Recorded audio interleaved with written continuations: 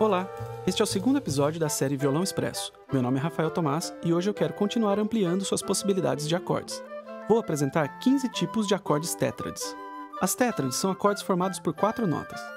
A maneira mais simples é pensarmos que são extensões ou mesmo variações das tríades, que por sua vez são os acordes mais simples, de apenas três notas, separadas por distâncias de terças maiores ou menores. Podemos organizar as tríades inicialmente em quatro grupos: maiores, menores, aumentadas e diminutas.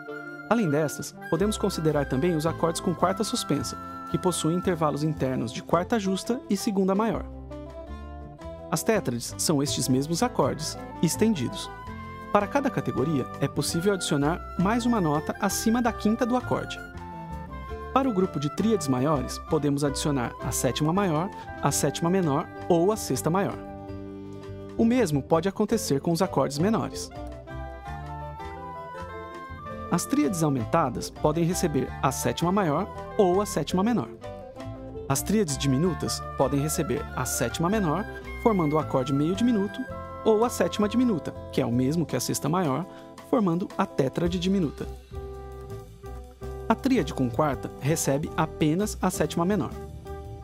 Além desses 11 tipos de tétrades, podemos adicionar ainda mais quatro variações: a tétrade maior, com sétima maior e quinta diminuta, a tétrade maior, com sétima menor e quinta diminuta, a tétrade menor, com sétima menor e quinta aumentada, e a tétrade diminuta, com sétima maior.